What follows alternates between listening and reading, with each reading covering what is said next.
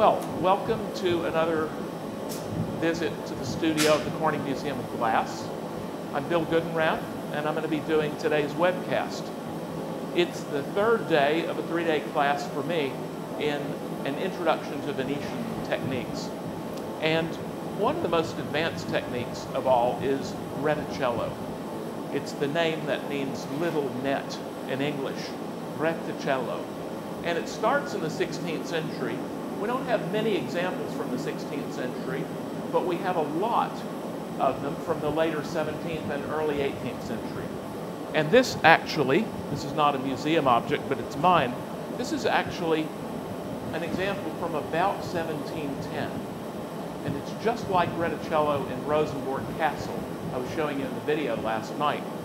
And if you look at it really closely, you can see that the canes are very narrow, the white canes are really narrow, and above all, the bubbles at the intersections of every four canes, where four canes cross, there's a void. And that void, when it's fused initially, makes a bubble that's sort of pillow-shaped. It's squarish, the corners are pointed, and the more you reheat, the more the pointed parts recede, and if you heat a lot, the bubbles become spherical. Well, around 1710, and this is just like a piece in Rosenborg Castle, that's why it dated so closely to 1710. The, the canes intersect and the bubbles are absolutely giving the appearance that the glass never got hot enough to do anything other than fuse the canes. It's a real enigma. How did they get it hot enough to shape the object without having all the bubbles become spherical? Well, in modern times, in really recent times, people like Kenny Pieper and Dante, they like round bubbles. So this is a Kenny Pieper goblet, gorgeous. And if you look really carefully, there are bubbles at the intersections, but they're round. And all of Dante's bubbles are round, and they both prefer round bubbles. This is a platter I made some time ago, maybe four or five years ago, and the bubbles are trapezoidal and square, and they're round right in the middle and right at the edges. And this is a piece I did with Martin Janecký, rather, Martin Janecký did this with my help. I set up the reticello, and all the bubbles are round because he gathered over the reticello, and it gave the bubbles plenty of time to become spherical. There are two kinds of whites that are available today. 25, 30 years ago, white, opaque white glass was at best like 2% milk. Now we get these really great super opaque glasses. And this is the one called Duro. So it's very opaque and it's also really stiff. So a color like this holds its shape really well. You can see the canes are really well defined, just like here. Now if you use a soft, do the same techniques and use a soft white, you get a little bit of bleeding and a little softening. And so you wind up with wider canes that are not quite as crispy and sharp at the edge. Reticello canes are traditionally different than normal filigrana canes. These are normal filigrana canes. And these are reticello canes. And they're pretty skinny by normal standards. They're pretty small diameter by normal standards.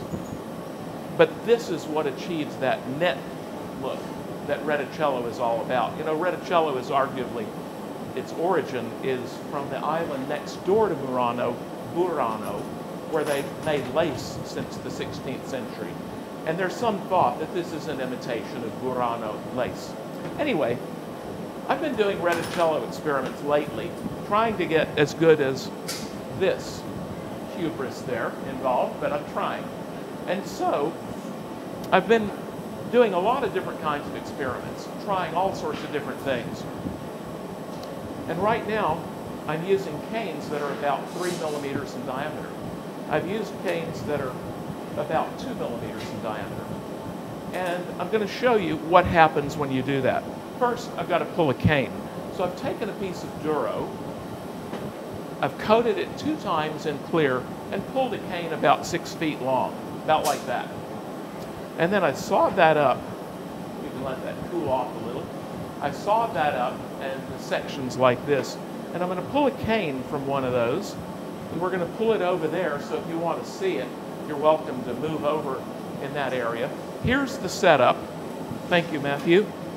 There it is, ready to be gathered over. So I'm going to gather over at the main furnace, then we're going to pull the cane right over there. And the final cane will be absurdly small in diameter. It'll be about three millimeters in diameter.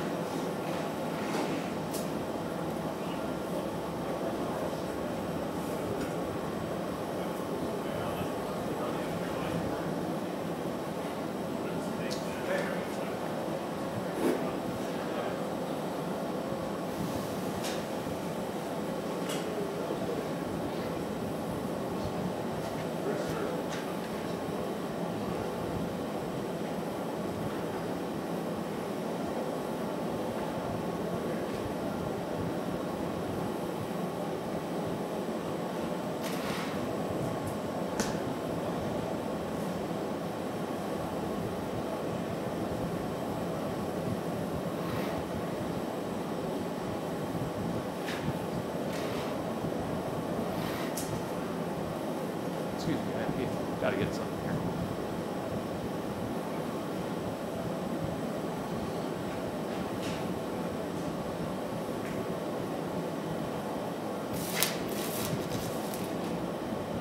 Matthew, can you fill that up from the pipe form, pipe cooler?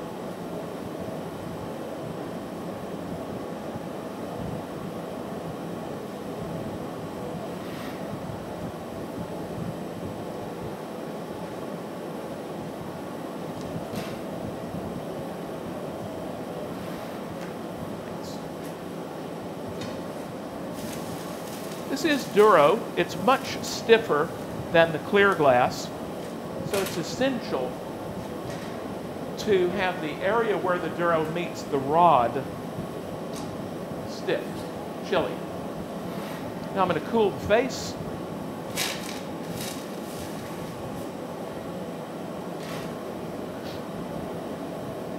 And you can meet me over there.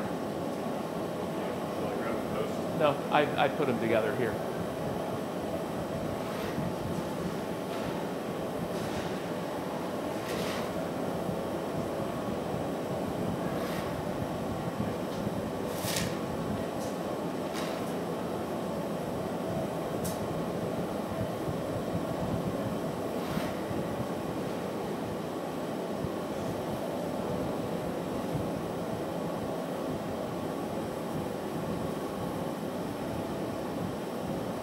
And Matthew, you go there.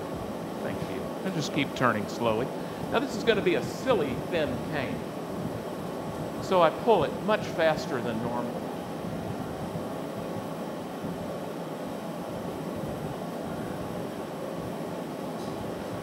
And you go up.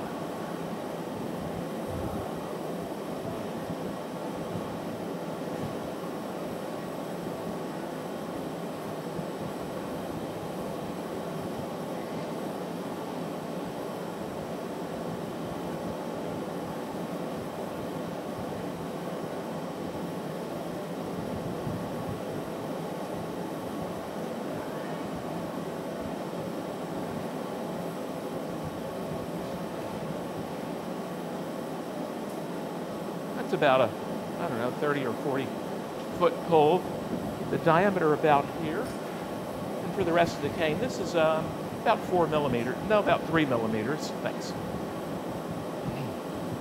So now we go to the fusing and roll-up process.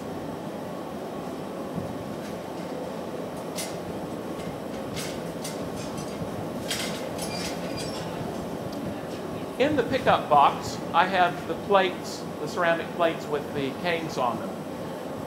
If you look at them, you'll see that they're not oriented as they normally are, perpendicular to the sides of the plate.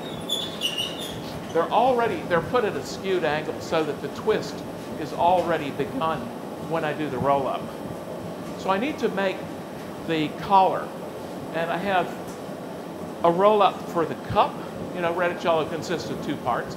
I have a roll-up for the cup, and I have a row up for the inner part. So this is the correct diameter for the collar for the cup.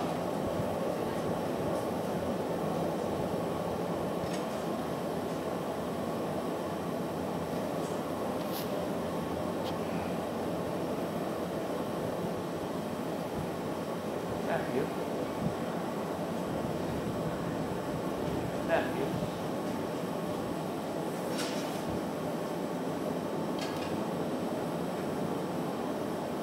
Do me a favor and grab the gloves under that marver.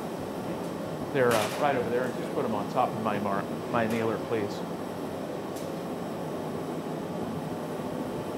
Now this collar is, is normal in a lot of ways, but it's, it's different in that the way I've been experimenting with reticello lately, I don't do the usual procedures in a number of ways, in a number of areas. And one of them is when I break the cup off, I'm going to break it off right here. Normally, we jack the neck down of the cup and make it narrow and break it off there. The problem with that is that heat and that constriction just damages the canes. So lately, I've been making a neck on the post.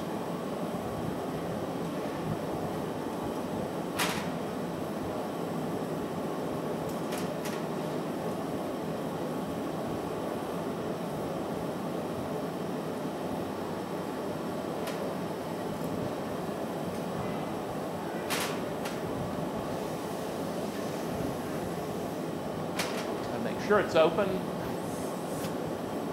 and it's about the right diameter. It's not exactly round, but it's going to get a lot of marbling and smoothing. Ask you to take care of this.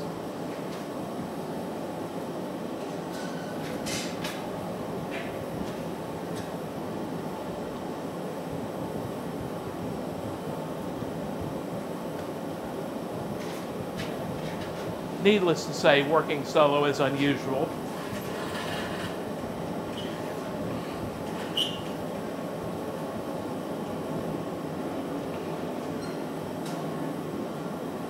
But part of this demo could be titled The Limits of Solo Glass Blowing. Reticello is, I, I promise you, it's no more difficult solo than with two assistants. Here are the canes on the plate. Note that they're askewed.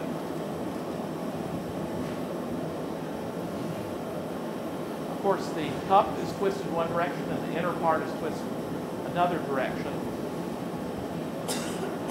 So I hope I have these oriented the right way. I have a little cheat sheet right here that tells me the inner part is that way and the cup is that way, and I think I've done it right. It's a huge advantage preheating the plates in the annealer. It makes this half the time it would be were I to reheat cold plates. Hey, Matthew, you could bring that over. Thanks. And now I'm in solo mode. Thank you.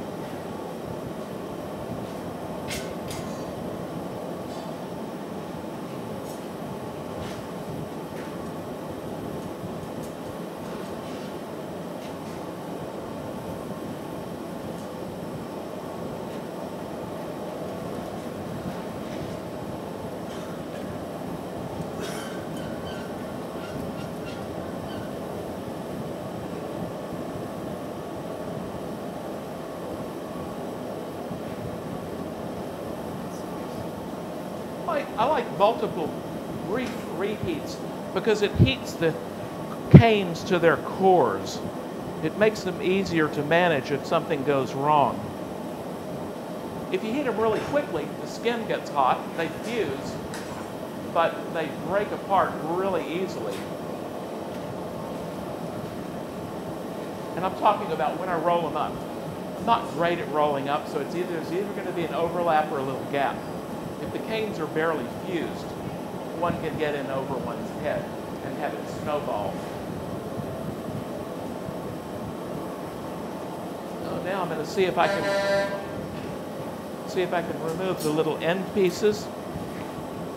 These are called quarretti, these little end pieces. Once I asked the wonderful Venetian glass artist Gianni Toso what quarretti means. And he said, little rectangular things.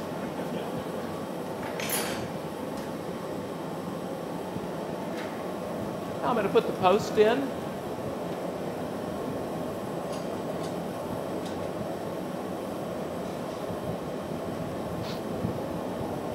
But just for a moment, because I'm going to do one more check for fusing. After the quarretti come off, it's very helpful to do a gentle squeeze this way because there could still be gaps. There we go.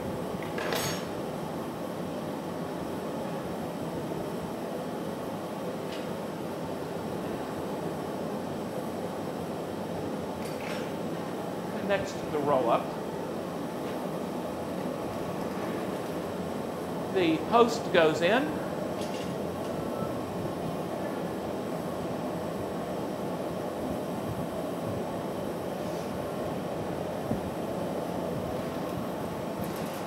Canes come out.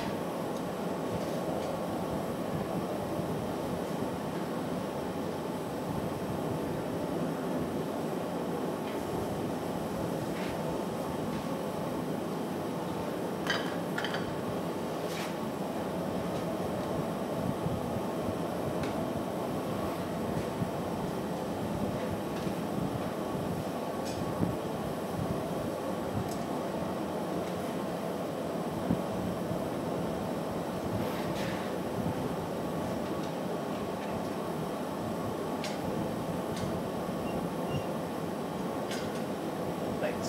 Thanks so much.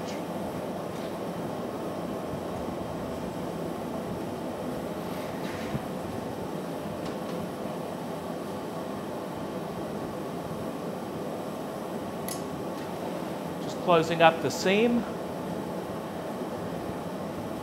There's a little bit of an overlap at the moil, at the collar.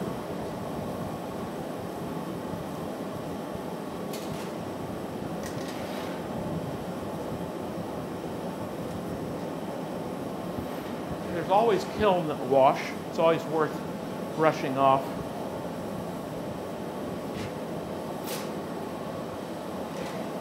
This is going to be the cup.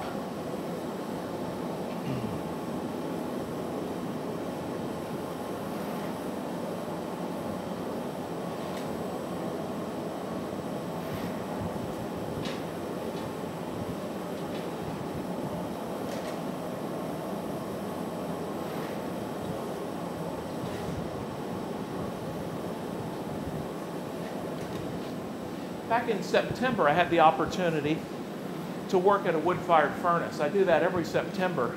I work at a wood-fired furnace for about three days. And the heat is much milder and more gentle, and it fuses and flattens the canes much less. So I just turned my furnace down to 2100.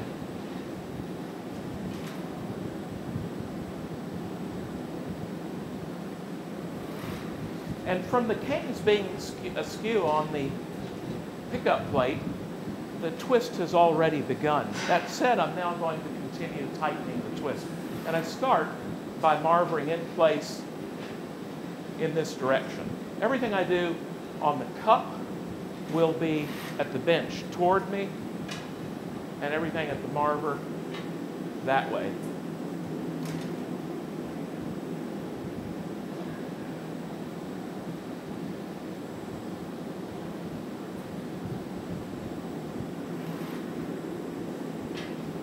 I'm also diminishing the diameter, reducing the diameter of the moil a little bit, the collar a little bit. And this business of brief reheats and low temperature is part of what keeps the canes so sharply defined and makes the bubbles so pretty. Maybe I forgot to say, I way prefer the pillow-shaped bubbles. Now at this point, normally, this is heated, the end is jacked down and closed. That does a lot of damage to the canes. So I've come up with, uh, for me, a slightly different way. And I put a, I put a plug, so to speak, on the end of this.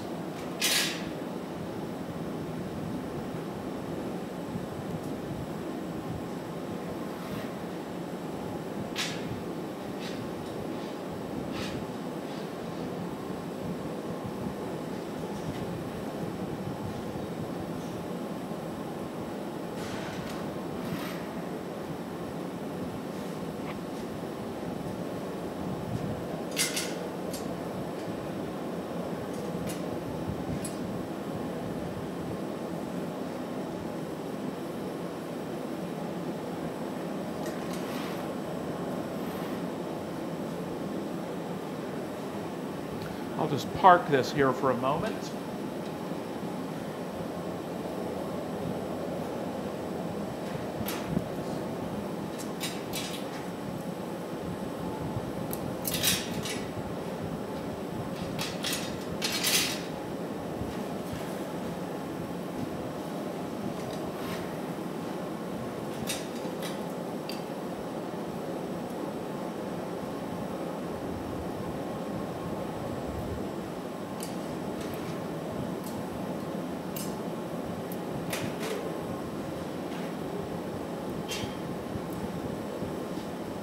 And all of this is an attempt, it's all an attempt to keep the canes crispy defined. Anything I can do to not soften the canes too much is good at this point.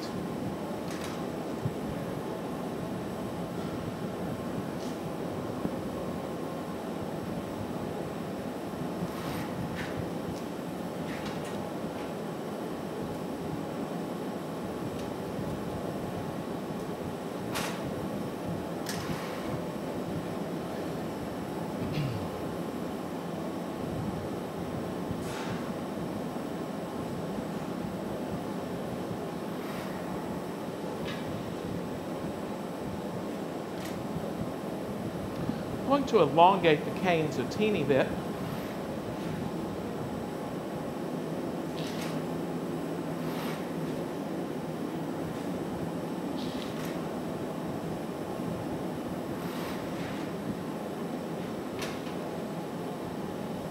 I want to be able to hold the, the end of this and chill the plug And now begins the business of twisting it tighter and elongating it a little bit.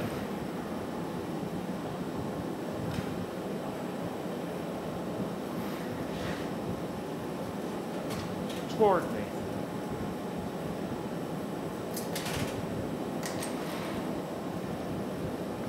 Got a little bit ropey, so I'm going to smooth it out. I turn all the time this way to tighten. If there's any torque, it should be the way, if there, the torque should be in the direction that tightens the pull. Now I just blew and I have enough, enough closure. There are leaks, but I have enough closure to allow me to create the cup. I'll give that another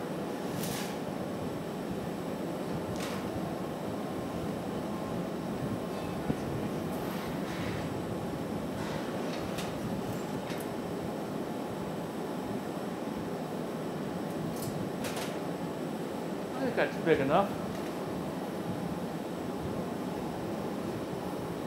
I'm, I'm experimenting with different ways to not have to do the following procedure. I'm experimenting with different ways to get the end open and to make a cylinder without having to jack it down. I haven't quite gotten there.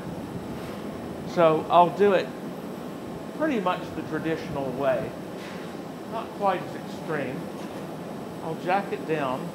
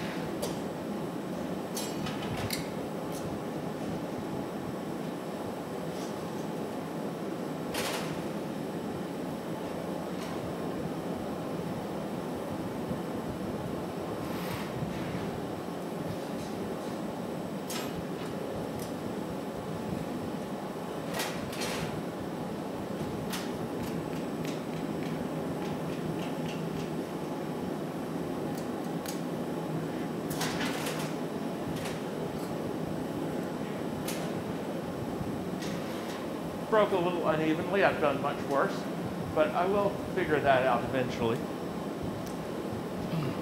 I didn't have to jack down much. I didn't have to heat much. So those canes up near the edge are pretty good.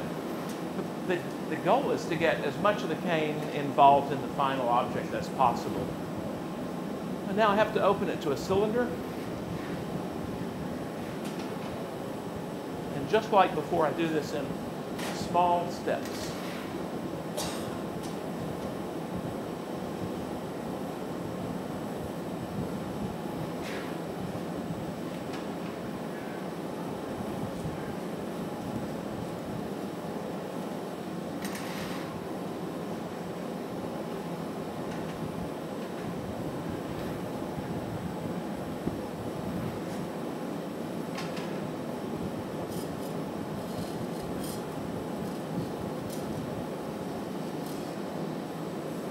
the top of this is going to never be used. The closest the object will get to the edge is about, about a half an inch. All, all that's usable right up to that broken edge. Now I'm going to put this in the cup holder in the pickup box.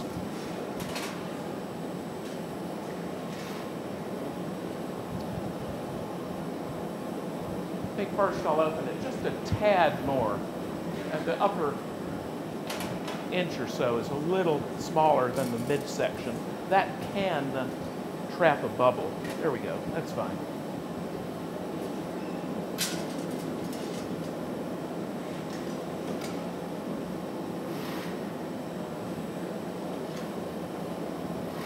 Now you notice when I don't jack down like it's typically done, these canes are all perfectly intact, nice and sharp. So there's no damage done to those in this procedure. Bite, bite, bite, and I'm going to break this off. Maybe I'll flash it one more time. This annealer is holding at one at 950.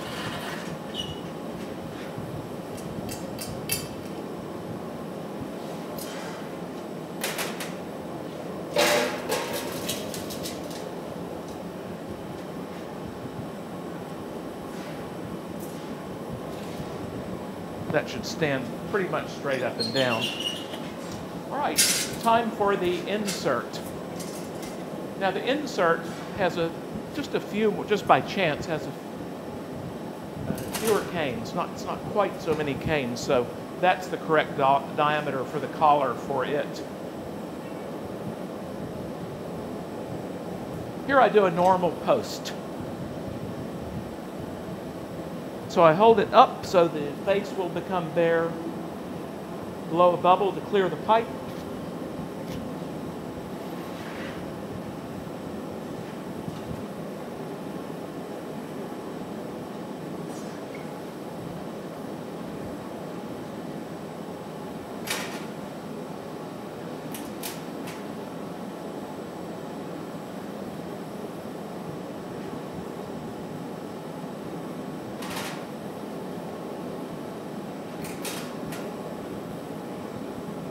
I frankly have never been great at roll-up diameter control. You know, the relationship between the length of the roll-up and the diameter of the post. I've never been great at that. But with these little skinny canes, it's so unforgiving that it's really sometimes painful to painful to have it go so badly.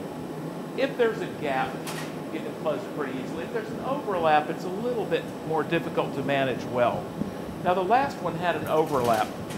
So anticipating that I'm in, a, in an overlap mood today, I'm going to make this a teeny bit too, teeny bit bigger than I set the caliper.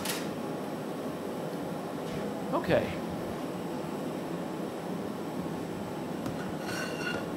Pastorelli. By the way, this is the Pastorelli. That's the, the plate is called a ferro, means iron. And traditionally this has a crook on the end like a pastor's, you know, like a sheep herder's hook that became the stylized hook in the church, you know. So this is the pastorelli, like pastor. A lot of people call that the pastorelli. All right, I'm going to put this on hold, put the plate on.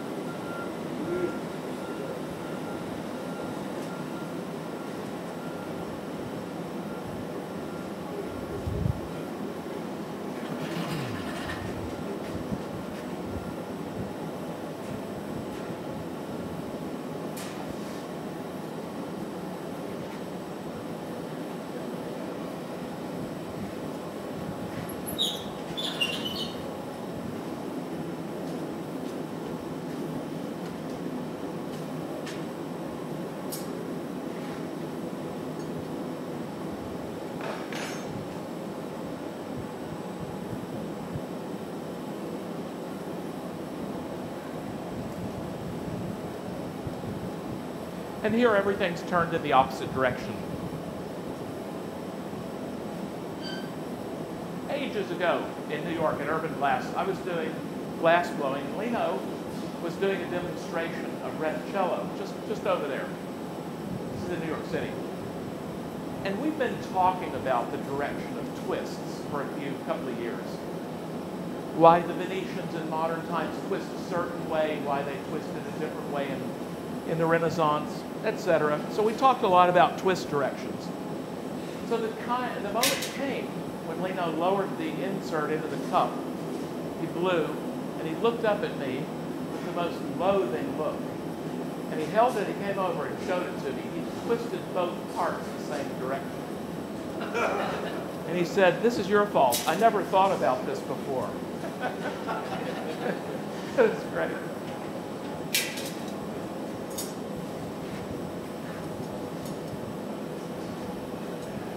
Well, my way of remembering is the cup is nearer, the insert is farther. I turn nearer, farther. So I keep them separate that way.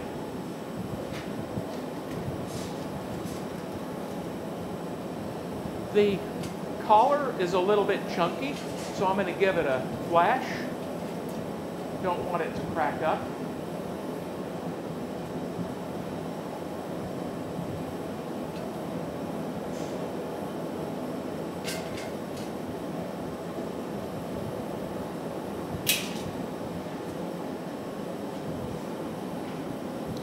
not quite hot enough. You get used to the color of a given glass and a given white, you know, a given clear and a given white glass, and that's just, just short of tacky as I need it.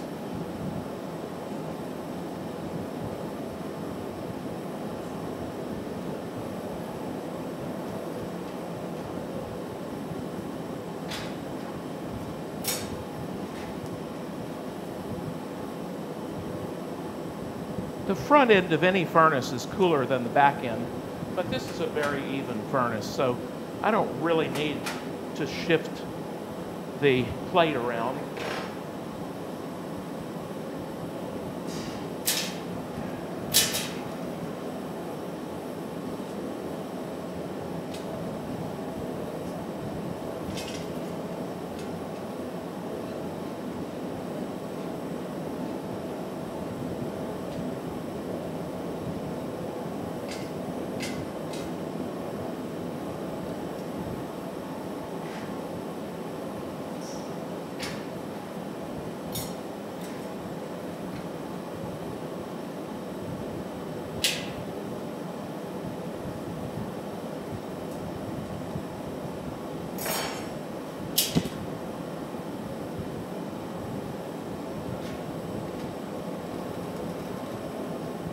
Post goes in. The canes don't need to be too soft when they're this thin or they'll begin to buckle and collapse.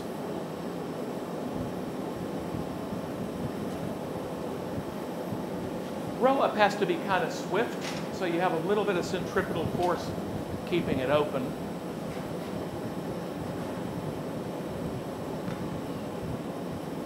So I got a gap.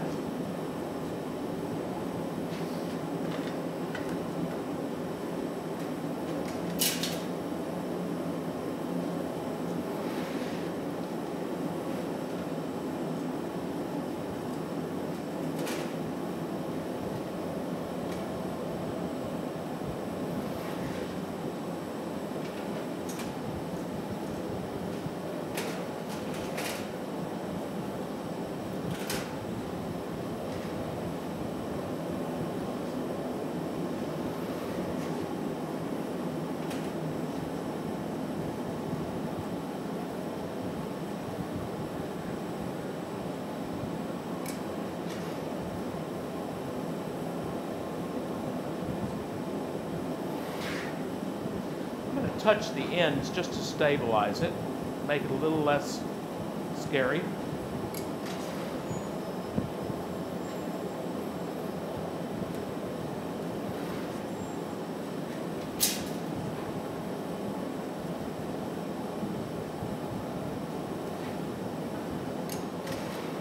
Now, during all these reheats, these deep reheats, the, the collar is beginning to get a little bit soft, and that'll make it easy to close the gap.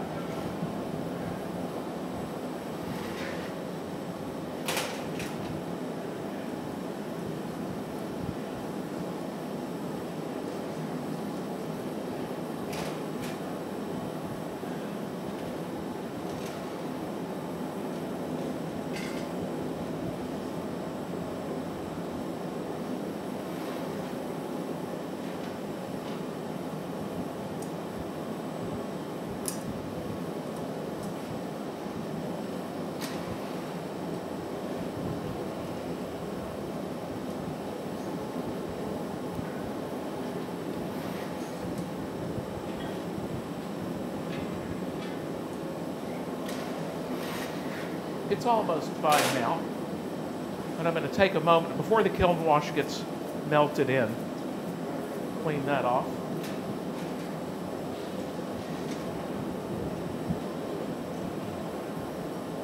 And all of my turning should be now in this direction. That tightens the twist.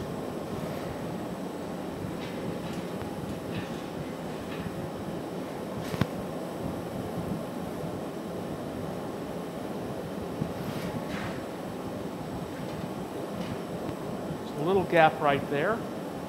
There's a little gap there.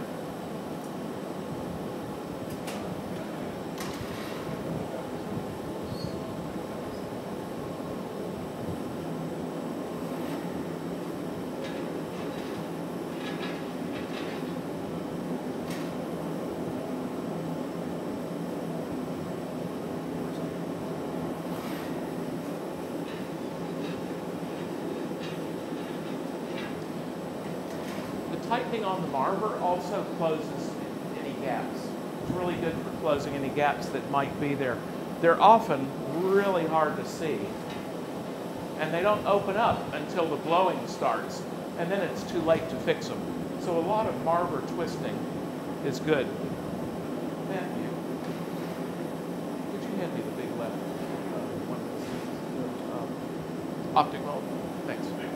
Yep. This is another really good technique for tightening the twist. It also, it also has the advantage that it makes the end a little smaller in diameter because just like before, I'm not going to jack this down and close it initially. I'm going to keep the, keep the cane stiffer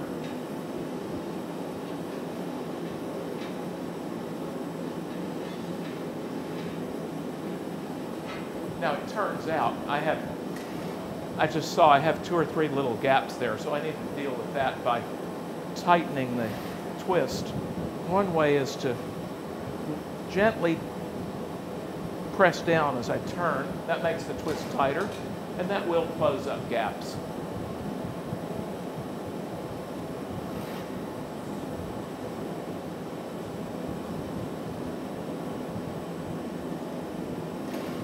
It's a good way of applying friction, you know so that you get an even twist from top to bottom.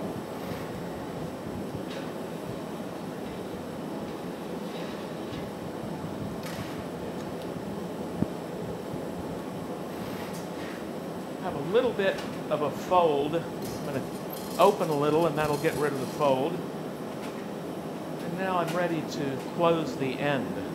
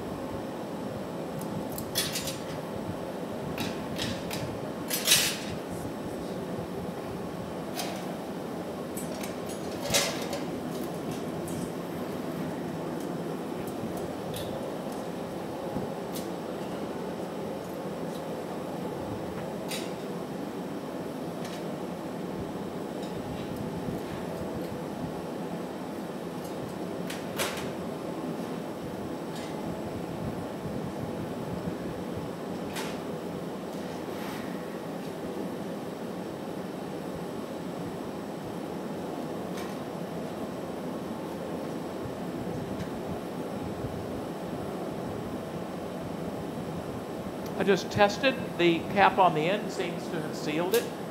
That's good. I'm going to start elongating the canes a little bit.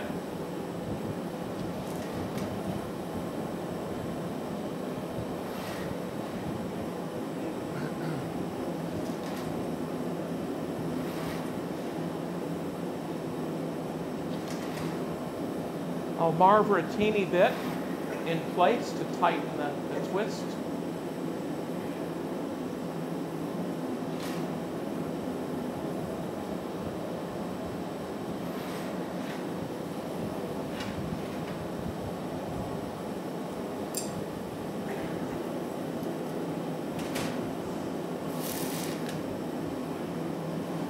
Now at this point, I need to turn this up. It's right now at 950, and that's a fine temperature for picking up parts, but it's not a sufficiently high temperature to keep the cup from cracking if I blow into it and blow really hard, as I have to to get good bubbles. So I turn this up to 10, 20, and I have to keep in mind that at 1020 the cup will collapse in about 10 minutes so I don't want to turn that up too early. Anyway, now comes tightening the twist and closing the end.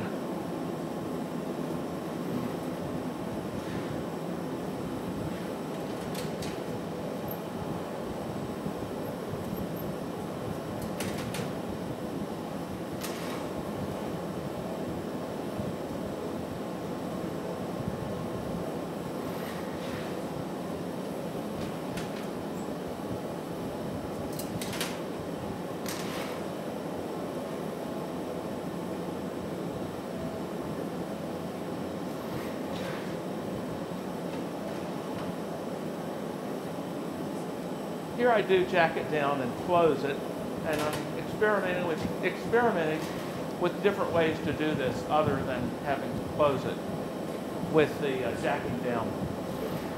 But I'm not ready to show you that.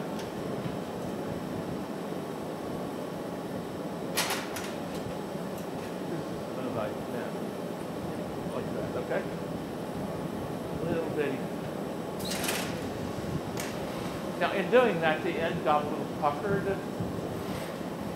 So I have to blow that out or that'll trap nasty bubbles. Now, if I'm concerned about this getting too hot, I can always do this. It's good.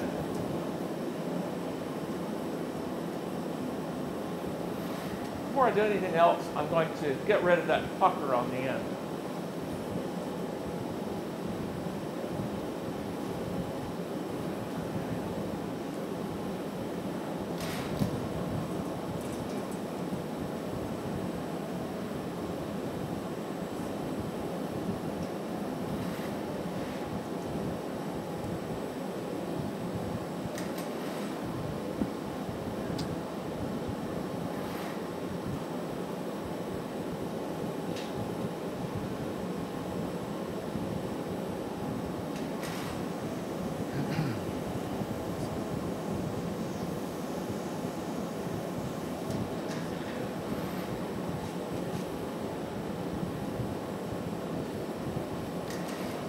It was 1982 when I met the great goblet maestro Caramea, Carlo Tosi, in Venice, in Murano.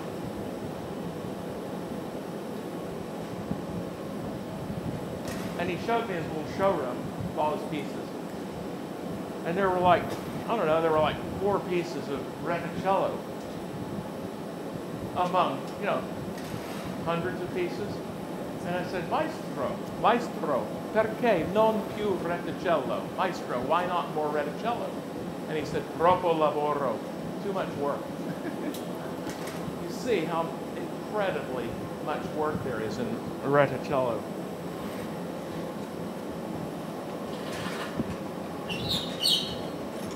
I was just looking at the diameter of the cup. I want to be safe.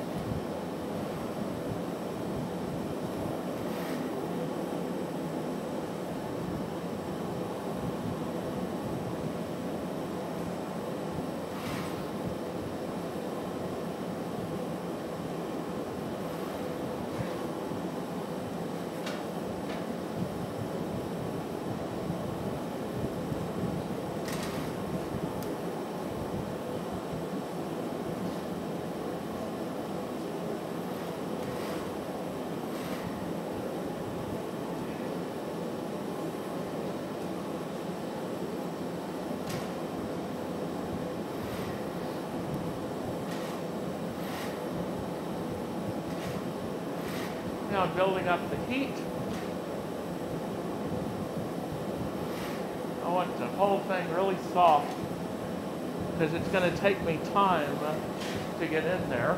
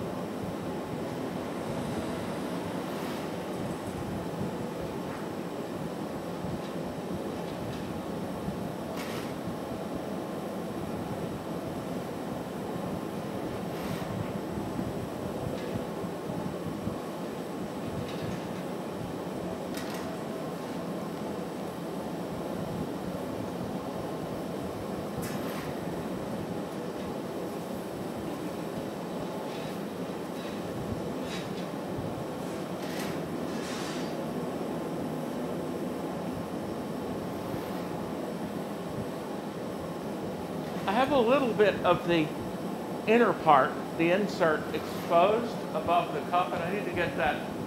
I need to get that further up the moil, up the collar. So I reheat and I hold it up and reheat and hold it up, and that's that's a problem that I can fix.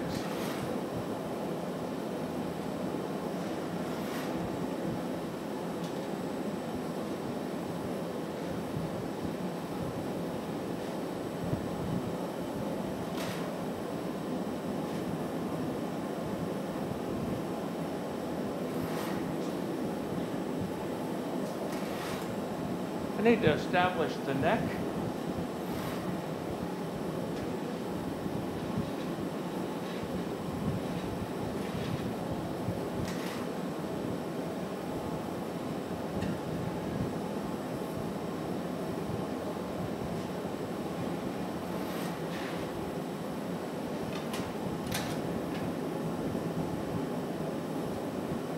And I make the neck far enough away from the collar so that I know the canes are good.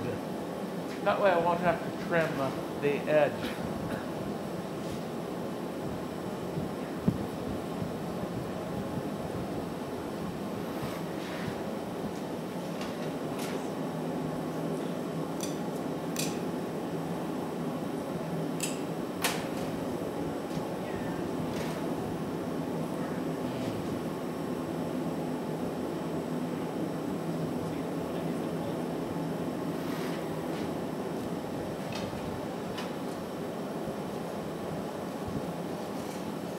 I've begun the neck. It's about 50% done. I'm going to leave it at that for the moment and I'm going to trim the tail and get rid of the thick glass on the end and identify the part of the reticello that's intact as far away from the blowpipe as possible. And that's where I'll cut it in. Especially for a plate like I'm going to make. You want the two parts, the apexes, to come right together.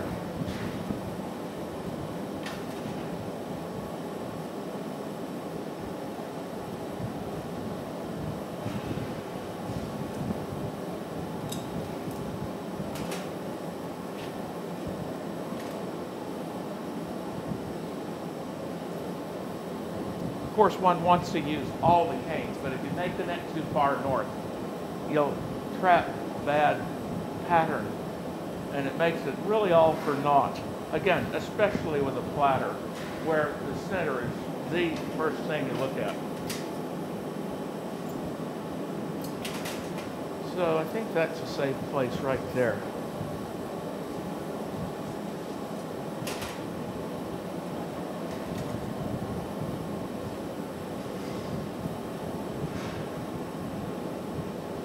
While I'm heating it to, to trim the tail, I'm beginning to re-soften the whole bubble and the neck in preparation for uh, turning this into an oblate spheroid. That'll be the beginning of the plate shaping.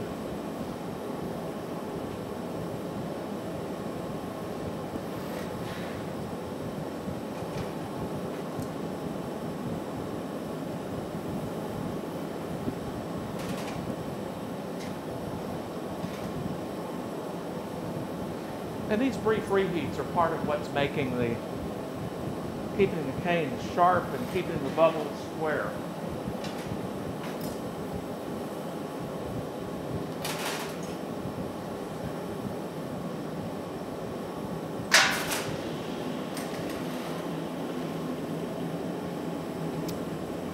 Next, I'm going to get the whole bubble slightly soft and blow it up a little bit and make it the shape of an oblate spheroid.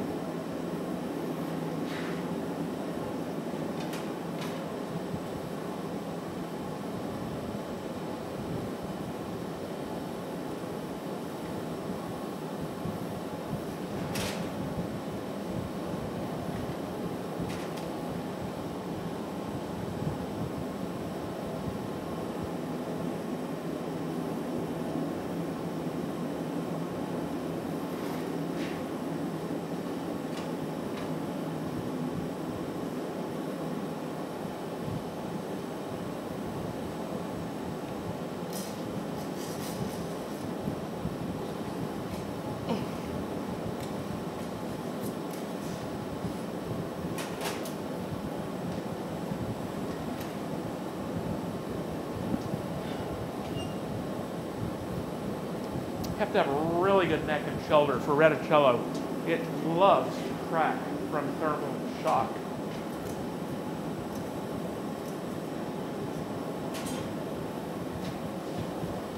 So you need to have a, so you need to have a small neck, a really concave tapering shoulder, and a hot shoulder at the moment of the transfer.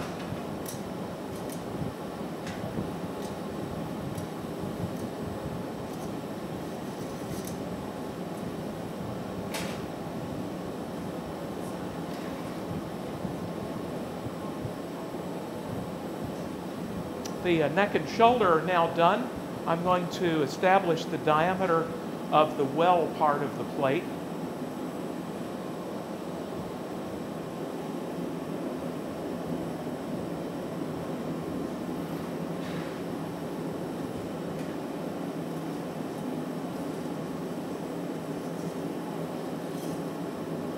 Now keep the bottom and flatten the bottom.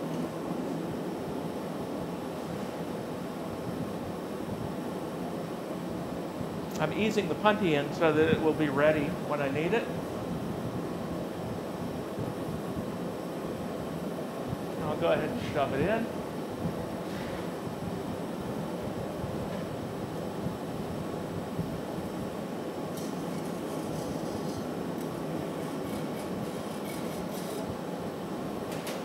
I cool the punty site the glass, the clear glass around the pipe, the collar, is a little bit yellow. The end of the blowpipe is slightly red, and that tells me that this, these temperatures are all fine up here. Transfer to the punty.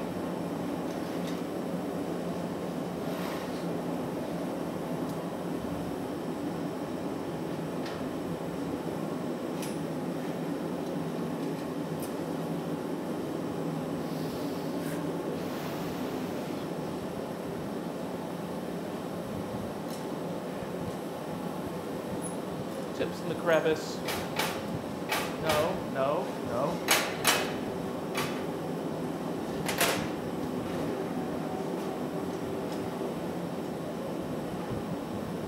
Now, if I were making a vessel with a lid, I could leave some of this and use it for the lid, for example, or a stem or a foot. You can make the neck wherever you need, leaving extra glass for other parts. Also, sometimes because you might need to make the cup first and then those parts, you can divide those into sections, transfer them to other blowpipes, and use them.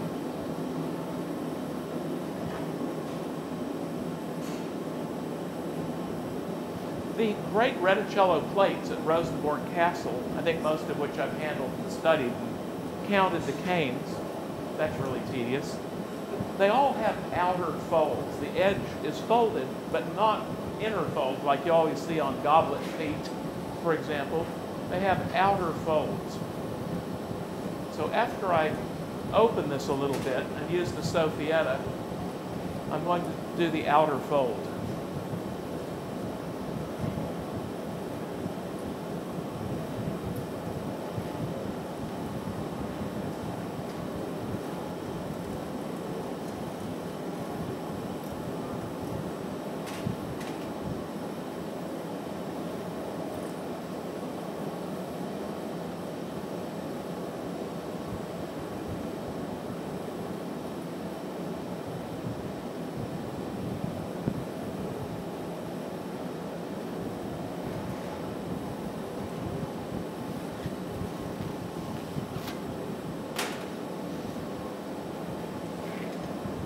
And here comes the outer fold. It's the same principle as the inner fold.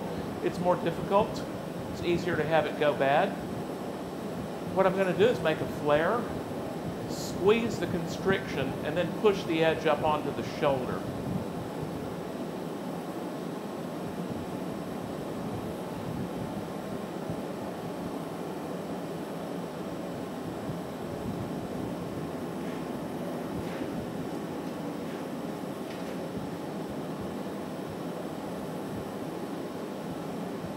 And it's in this reheating that the bubbles near the rim of all these things begin to get round because you can't open and shape it without softening the glass, and that gives it time for the bubbles to become spherical.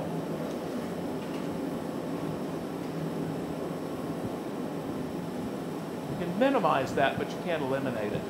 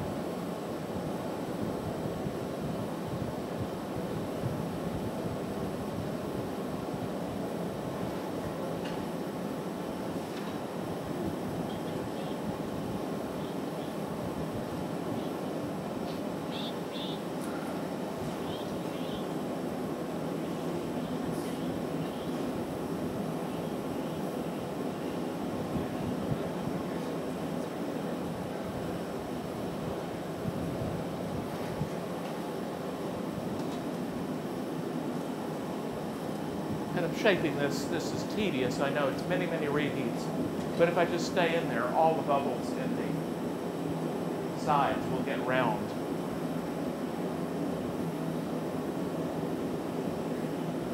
So a little bit at a time.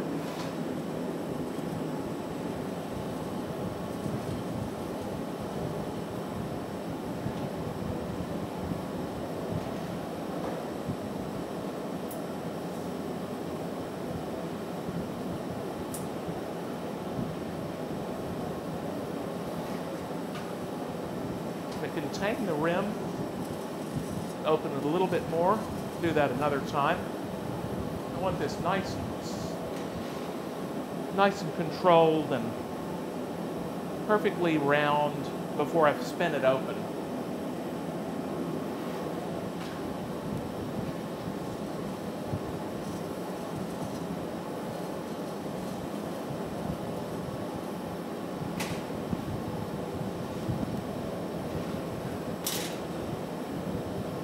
And it's important that I get it soft all the way to the bottom edge of the well, or it'll,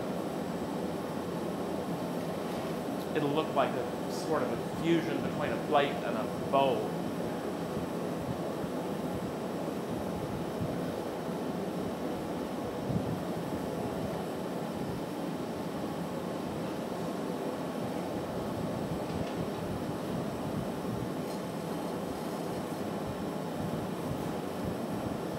So it is an incredible amount of work for a little plate.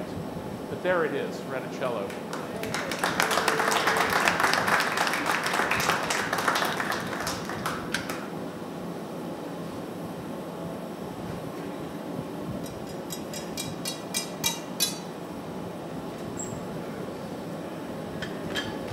Thanks a lot.